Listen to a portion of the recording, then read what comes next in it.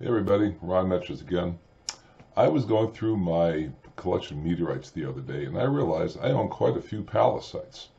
So some are pretty nice. So I thought I'd uh, just do a video kind of focusing on those and kind of highlight them. So let's get to it. Our first piece is a 636 gram slice of Seymchan.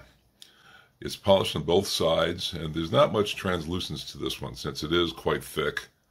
If it was thinner, it would be more translucence, but I just love this piece. It's one of my favorites. It's also my largest.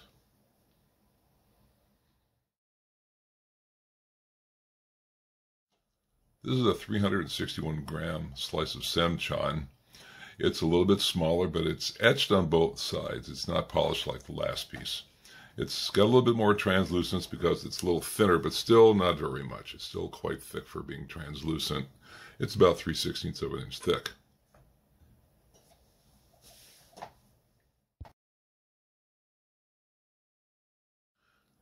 This is a piece of Seymchan, but it's a mesosiderite, which means it has about half metal, half crystal.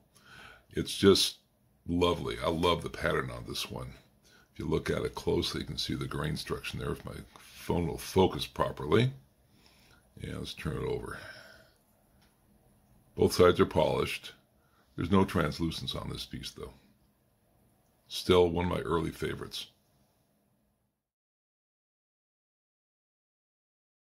Now this is also a piece of Seymchan. It's a little different. It's a solid stone, uncut. I don't see any crystals on the outside, so I'm guessing it's probably all siderite. But I wanted to have a piece to show my outreach students what a meteorite can look like on the outside versus the inside. And this is a prime example of showing, you know, the kind of rough exterior and the beautiful interior of all the other slices. So this is a nice piece. I bought this in Tucson a few years ago.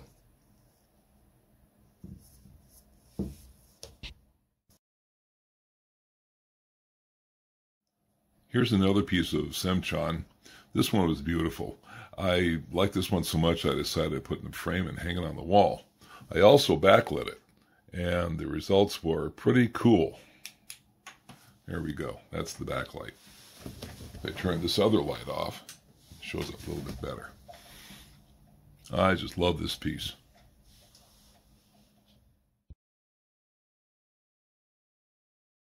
Here we have a Brenham cut on two sides, polished on both sides, and it has one side with crust on it. So we have a nice piece and it's stable. I've had this on my shelf for a couple of years with no rust issues. And this is just a beautiful little Brenham I bought some years ago.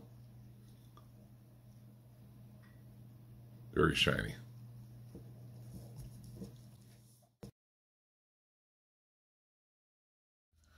This is a 118 gram piece of Admire. It's behind glass and getting a lot of glare. Got this in Tucson about four years ago from the pe people over at KD Meteorites. Completely stabilized and has a lot of translucence, so I backlit it, and this is what happens. Just got a lot of, got orange and greens and yellows in some places. Just beautiful. This is my first attempt at, at backlighting something. Um, I overbuilt it like crazy, and it shows. But it still came out very nice.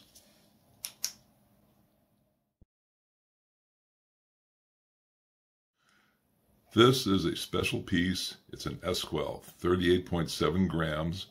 Literally thought I would never be able to own one of these pieces. I got this from Anne Black about three years ago. Thank you, Ann. I love this piece. Uh, it's been on my wall now for a couple of years. And again, it's backlit. And the results of, of doing that are spectacular. There it is right there. It's probably the most translucent piece I have.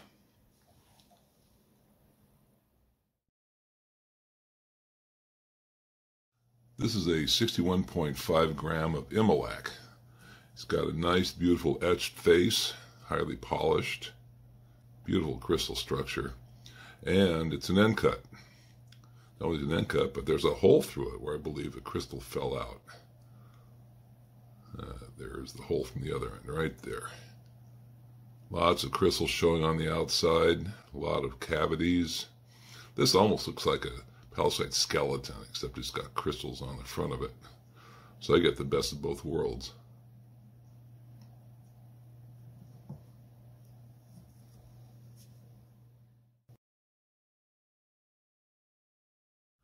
Now here is one of the more unique pieces in my collection. This is an unoxidized piece of Huckitta, because you can tell because it's shiny. It's not have that, that matte finish that most of the other Huckitta you see. It's 32.2 grams. Bought this from Blaine Reed about two years ago in Denver before COVID hit. But it's uh, got a nice exterior. Uh, you can see some of the grains coming through, the crystal grains here and there. But the point is, is that this is one of the larger pieces that exist uh, that are unoxidized, and everything else has been oxidized into magnetite and hematite. I see a lot of it, but uh, not this nice.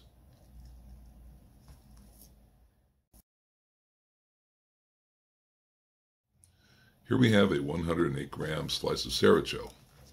I bought this in Tucson the first year it was made available to the public.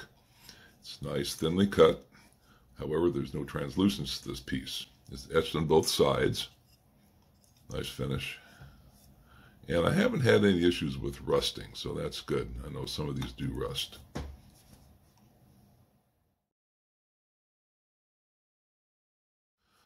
This is a 558 gram whole stone Sericho.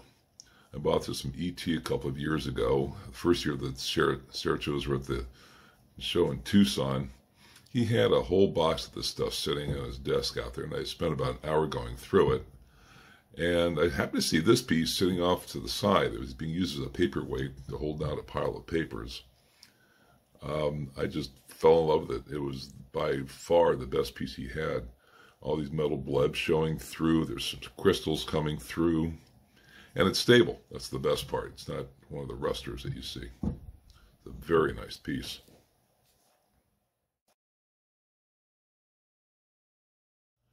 This is a 39.4 gram piece of Springwater that I got just about a year ago in, in Denver. It's not only a beautiful slice, but it's also an end cut. So you get some of the crystals coming out the back. And it just shows the outside crust, and there's some crystals sparkling in the light there. Nice little piece. It's one of those kind of special ones I didn't think I'd ever own.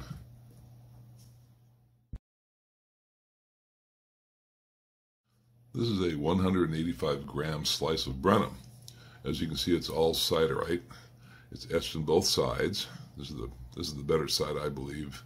I like this little area right here. It kind of it's, sets it apart. This is the other side. Not a bad slice. It's also very thin, maybe oh, one and a half millimeters roughly. Nicely cut. Nice overall piece.